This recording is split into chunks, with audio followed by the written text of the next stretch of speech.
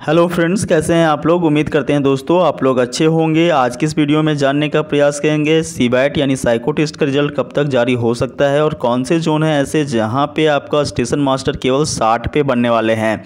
तो इस क्रम में दोस्तों, पहला जोन है त्रिवंतपुरम, जहाँ पर केवल लोग जो है वो सिक्सटी के अप्रॉक्स में फाइनल सलेक्शन तक पहुँच सकते हैं। देखिए साथियों, यदि त्रिवंतपुरम की बात करें तो यूआर यानी अनरिजर्व कैटेगरी का कटअप जो है वो पचपन लगा है साइको टेस्ट के लिए, ठीक है? वहीं एससी के लिए 36 एसटी के लिए 42 और ओबीसी के लिए सैंतालीस पॉइंट तीन तीन लगा है। दोस्तों, यदि यहाँ पे बात करें तो यूआर का मैक्सिमम आपका जो कटअप है वो 60 तक पहुँच सकता है। बाकी ओबीसी, एससी, एसटी की बात करें तो यहाँ पे केवल 50 पे ही स्टेशन मास्टर जो है वो लोग बनने वाले हैं। यहाँ ये आपको जानकारी होनी चाहिए साथियों कि 70 और 30 के रेशियो में आपका फाइनल सिलेक्शन होगा 70 सी टू के मार्क्स पे और 30 परसेंट आपका जो है वो साइको टेस्ट के मार्क्स पे। फिर भी जो भी यहाँ पे साइको टेस्ट के लिए कटअप लगा है दोस्तों, पाँच मार्क्स से अधिक नहीं जाने वाले हैं, क्योंकि देखिए, टोटल आठ गुना कैंडिडेट का साइको टेस्ट के लिए चयन हुआ था, उसमें से एक से दो कैंडिडेट जो है, वो तो ऑलरेडी एग्ज़ाम में बैठे ही नहीं, बाकी दो से तीन कैंडिडेट ऐसे होंगे जो कि ए टू मेडिकल क्राइटेरिया को फुलफिल नहीं करते होंगे, बाकी कैंडिडेट में से कुछ कैंडिडेट ऐसे होंगे दोस्तों, जो, जिनका जो साइको है, वो क्लियर नहीं हो पाएगा। तो ऐसी स्थिति में आपका कट ऑफ़ यहाँ पर बहुत ज़्यादा इंक्रीज़ नहीं करेगा, मुश्किल से आपका जो है, वो तीन से चार मार्क्स तक इंक्रीज़ हो पाएँगे। और वहीं यू को देखें दोस्तों तो मैक्सिमम यहाँ पे साठ तक जा सकता है।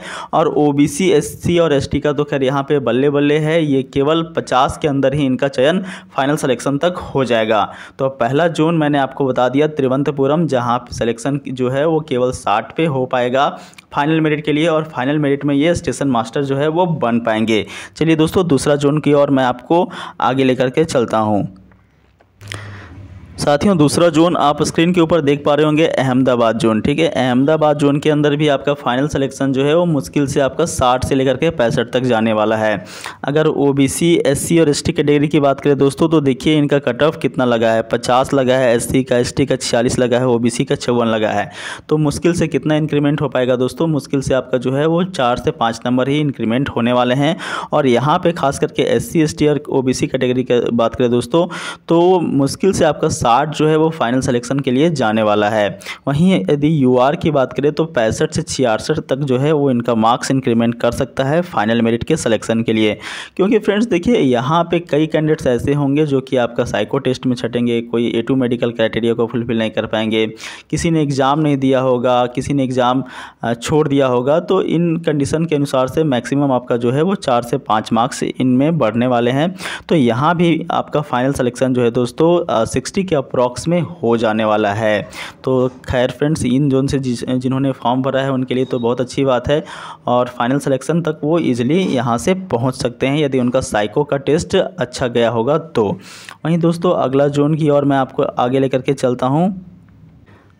साथियों, अगला जोन आप देख पा रहे होंगे आरआरबी चेन्नई, ठीक है? यहाँ भी काफ़ी कम कटअप रहा है आपका सीवैट के लिए और यहाँ भी फाइनल सिलेक्शन जो है वो बहुत ही कम मार्क्स पे होने वाला है। अगर यूआर की बात करें दोस्तों तो 64 फोर यहाँ पे कटअप लगा है एससी का 48 एसटी का 48 ओबीसी का छप्पन। तो देखिए, इन तीनों कैटेगरी का बात करें, खास करके एस सी का तो आपका मैक्सिमम जो है वो पचपन तक जा सकता है फाइनल मेरिट के लिए। वहीं साथियों, यदि ओबीसी की बात करें तो मुश्किल से ये जो है वो साठ से बासठ तक फाइनल मेरिट के लिए जा सकते हैं। तो देख सकते हैं दोस्तों, इन तीनों कैटेगरी के अंदर आपका फाइनल चयन जो है वो साठ के अंदर ही रह रहा है। जबकि थोड़ा सा यूआर कैटेगरी की बात करें तो सेवेंटी के आसपास यहाँ पे फाइनल मेरिट के लिए चयन जो है वो हो सकता है।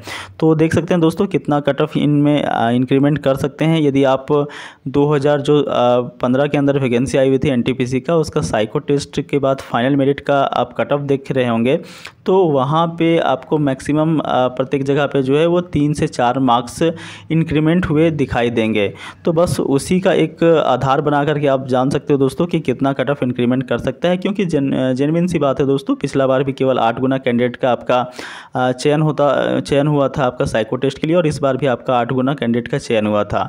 तो रेशियो सेम ही रहने वाला है दोस्तों, बहुत ज़्यादा उतार चढ़ाव आपको देखने को नहीं मिलेगा।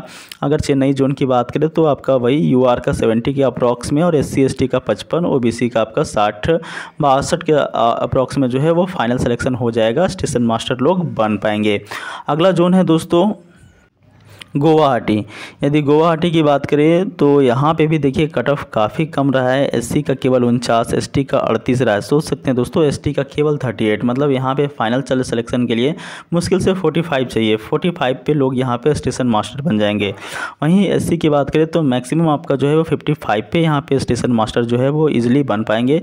हालाँकि ओबीसी का सिक्सटी फाइव तक जा सकता है और यूआर कैटेगरी का थोड़ा सा सेवेंटी के आसपास जा सकता है। बाकी देख सकते हैं दोस्तों, यहाँ पर भी कट ऑफ़ काफ़ी कम रहने वाला है फाइनल सिलेक्शन के लिए। और यहाँ पे भी आपका फाइनल चयन जो है दोस्तों स्टेशन मास्टर के लिए मुश्किल से 60 टू 65 हो जाएँगे। वो खास करके ओबीसी कैटेगरी का और आपका यूआर कैटेगरी का, जबकि एस सी कैटेगरी का दोस्तों तो आपका फिफ्टी के अप्रॉक्स में ही फाइनल सिलेक्शन हो जाएगा। तो ये कुछ ऐसे जोन थे दोस्तों जहाँ पर सलेक्शन लेना काफ़ी ईजी है और यहाँ पर लोग यदि फॉर्म भरे हैं और डेफिनेटली यदि साइको क्लियर करके आए हैं तो चयन इनका निश्चित तौर पर होना है। और फ्रेंड्स देखते हैं, जब सी वैट के रिज़ल्ट की बात कर लेते हैं थोड़ा सा। देखिए दोस्तों सी वैट का रिज़ल्ट का अब एक महीना से भी अधिक का समय हो चुका है। तीस जुलाई का आपका सी वैट लिया गया था और आज जो है वो चार सितंबर है। तो आप समझ सकते हैं ना, लगभग जो है वो चौंतीस दिनों का समय गुजर चुका है और अभी तक इसके रिगार्डिंग कोई भी ऑफिशियल अपडेट देखने को नहीं मिला है। और हालाँकि फ्रेंड्स, अभी सी बी टी वन के रिवाइज रिज़ल्ट के ये रिगार्डिंग जो है कोस्ट जो आपका कोर्ट केस चल रहा था, उसका नौ तारीख को नेक्स्ट लिसनिंग डेट भी दिया गया है। नौ तारीख को ये भी पता चलेगा कि भाई कब आपका जो है वो नेक्स्ट हियरिंग डेट यानी कि अगली सुनवाई की तिथि घोषित किया जाएगा। तो खैर उस कोर्ट केस का यहाँ पे बहुत ज़्यादा प्रभाव नहीं पड़ने वाला है। बाकी रिज़ल्ट की बात करें दोस्तों तो मैक्सिमम ये संभावना बन रहा है कि इसी सप्ताह के अंदर आपका जो है, वो रिज़ल्ट को पब्लिश कर दिया जाएगा सी का।